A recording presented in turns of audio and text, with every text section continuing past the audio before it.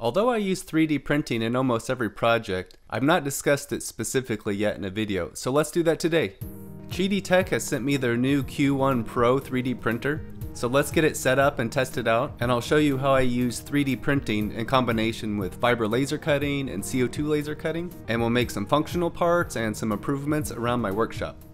This is my third QIDI Tech printer, and it looks like it's got some nice features. It's got a heated chamber, automatic bed leveling with dual sensors, it's got a dual metal extruder that can go up to 350 degrees Celsius, so it supports most filaments. It's got independent dual Z-axis motors, filament runout and wrapping detection, and it's a fast Core XY machine running Klipper firmware, so let's see how it prints.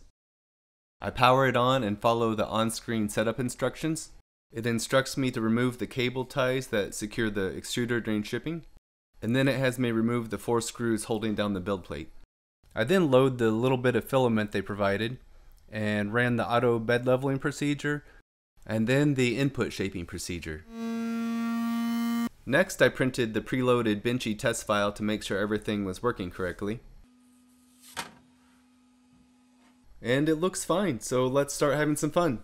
If you're new to my channel, I've spent the past year and a half about um, building and retrofitting machines to outfit my workshop with different capabilities. Um, let me just, I'll give you the quick tour real quick. Uh, have a fiber laser engraver, um, some more QIDI Tech 3D printers, injection molding machines, um, mini CNC lathe, CO2 laser,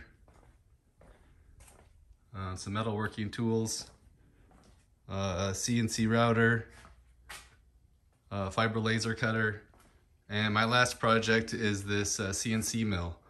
Um, as you can see here, um, I've just finished the project, but I have all these tools um, in this tray that I want to get out of here. So when I'm uh, working on a job, I can set the tools I'm using in this tray.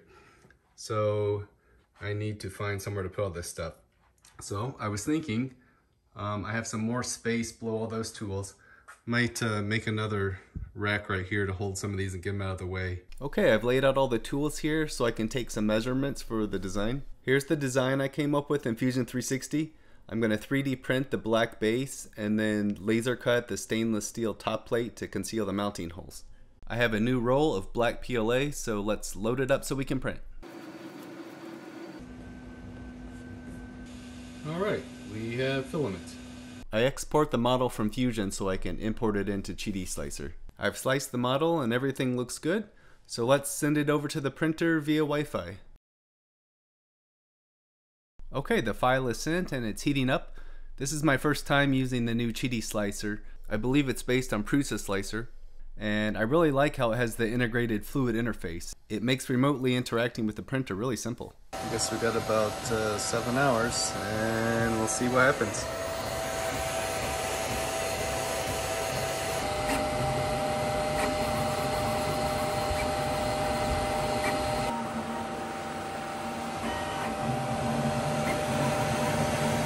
While we're waiting for that to finish printing, let's go ahead and cut out the stainless steel top plate. I've already loaded up a piece of 2mm thick stainless steel, uh, scrap from another job, and I've already set up the file in the RDCuttis software, so let's cut this thing out.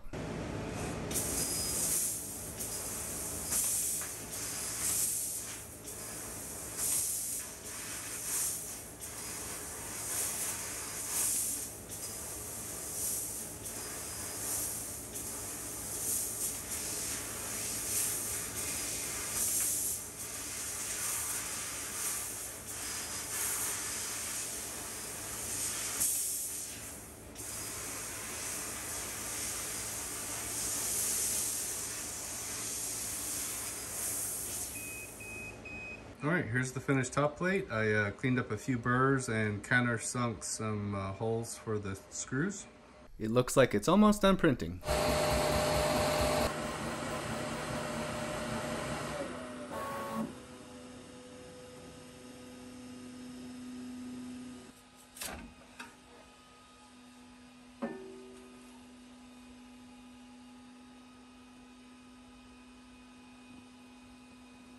Well, that looks like it turned out really nice.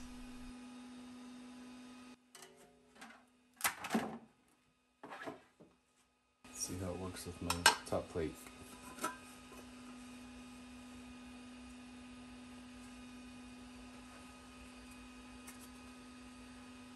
Alright, that looks pretty good.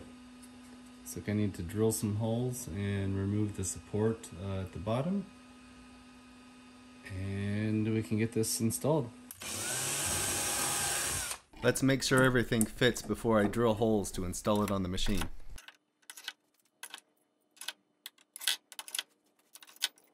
I think that's going to work pretty well. I've printed out a drill guide, so I'll cut that out and tape it right here so I can drill some accurate holes to mount it.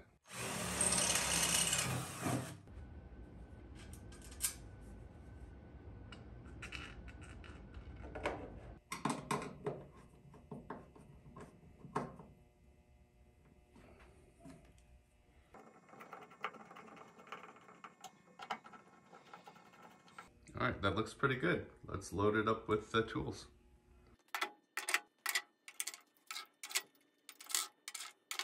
Okay, I think that's gonna work awesome. All right, we're halfway there. Now I need to do something uh, with all these collets. Um, I designed a, a, collet holder tray for my smaller collets for my other machine. So let's uh, make the same thing and uh, it'll stack on top of these. I've adapted the rack to fit the new collet size. All the black parts get 3D printed and the rest gets laser cut out of MDF.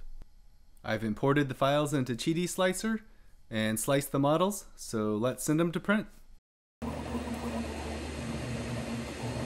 The auto bed leveling seems to be working really well. Uh, the first layer of this print looks great again.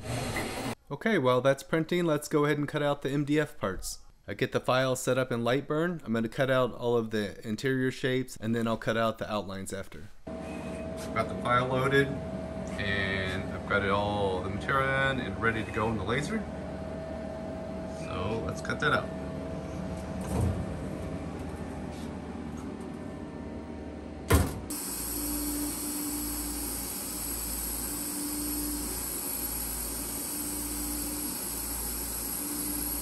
All right, let's check it out.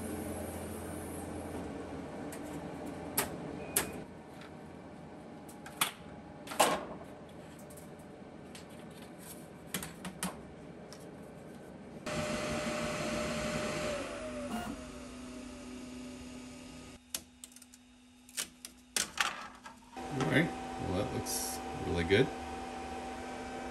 And everything looks great.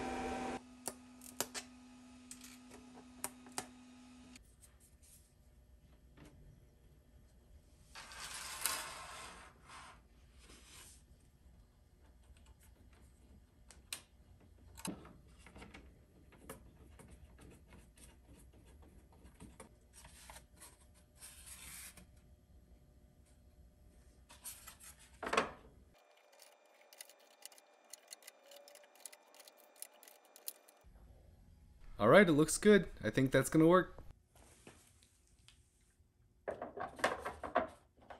Awesome, now we have room for uh, the tools in use and stuff here. Um, one more thing while I'm working on this machine, um, I want to keep the rotary axis installed here permanently, but um, whenever I'm working on a piece over here, um, it gets unnecessarily dirty and covered with uh, coolant chips. So I want to make a cap for it so I can uh, not have to clean up so much extra mess. Here's the design I came up with. I took some measurements and made it large enough to fit over the three jaw chuck also. I get the file imported into Qidi Slicer and flipped 180 degrees so we don't need a ton of support material. I get it sliced and everything looks good so let's send it to print. And it's off. The first layer looks like it's great again.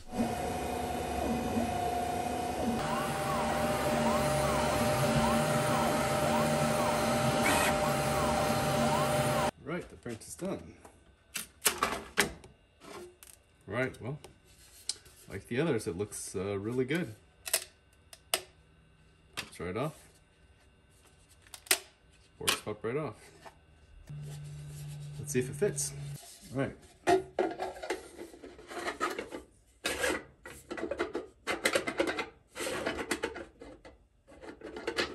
Cool. I think that's gonna work. All right, while we're improving the uh, workflow for my mill, let's uh, do one more thing. It's my box of end mills, and I have to basically dump it out to find what I need every time. Let's make a rack to uh, store all this stuff.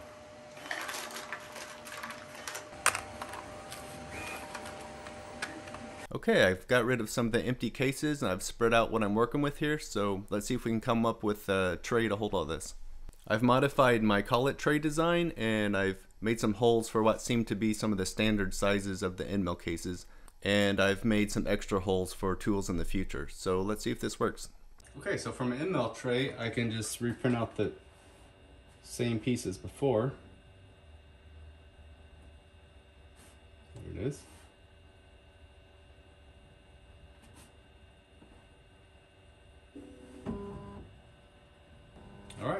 I will laser cut the other parts while this prints.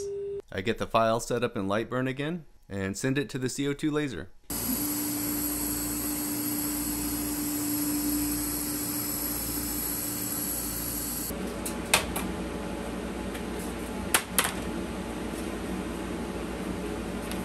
Alright, I have the base plate. I put one at bottom, on the bottom to line these, and then one on the top. It's done.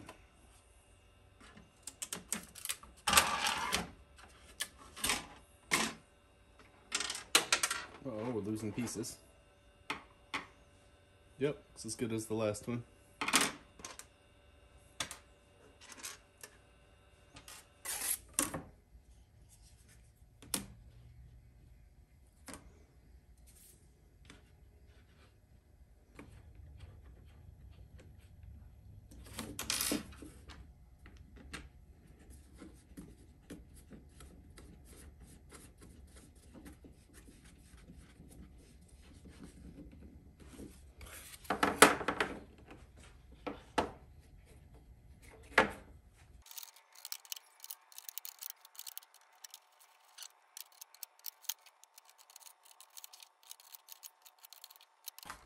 Cool.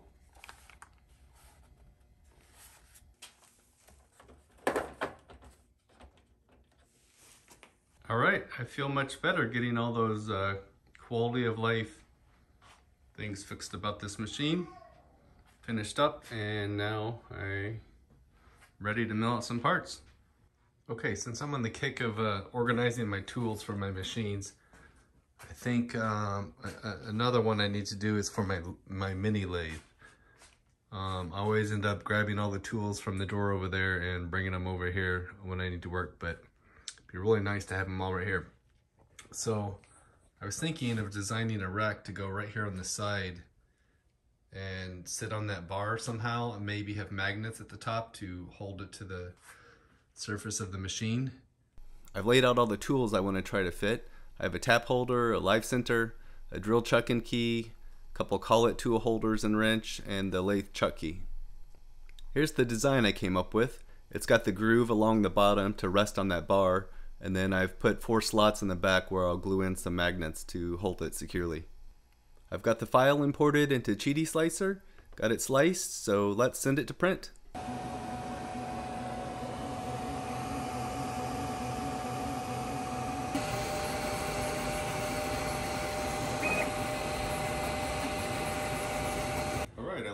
Overnight. It's the next day. Looks like it's all done.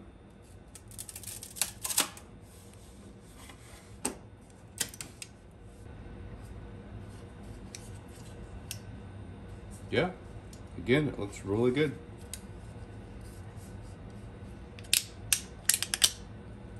Nice, that came out easy.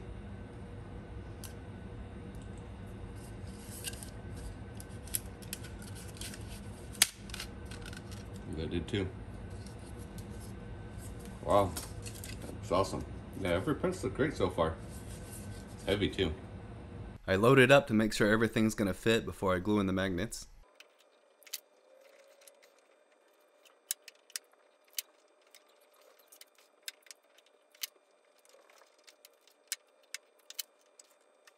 Okay, magnets are in there. Sit on that bar, and it snaps right to it. All right, that feels like it's uh, really secure. I think that's gonna work well.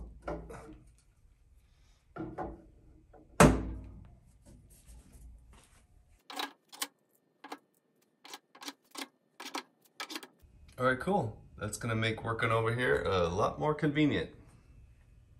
So my initial thoughts on this printer after using it for a couple weeks I've only tested it with PLA thus far, but um, every print has come off flawlessly, um, so that's exciting. I've noticed up close you can really see the build plate moving up and down as the print head moves forward and backwards. So the bed clearly isn't level, but um, the auto bed leveling is clearly compensating for that because every first layer has looked great. Also, their nozzle wiper in the back is an interesting feature. I'm used to having bits of filament around on my other machines that um, you know it'll it'll leak out here and there, but uh, the wipers uh, clean it off and it's pretty cool. Also, having the camera is pretty neat. Uh, being able to take uh, time lapse videos of everything. The filament spool holder is a little flimsy. You can see it wobbling, but it's getting the job done. I've had to re-enter my Wi-Fi uh, password and reconnect a couple times. Um, I'm not sure why it's losing that, but um, overall it's been a great experience. I'm looking forward to using this printer some more. If you're interested in purchasing the Q1 Pro, I'll leave an affiliate link in the description and I'll earn a small commission on the purchase uh, to help support the channel. Uh, thanks for watching. Bye.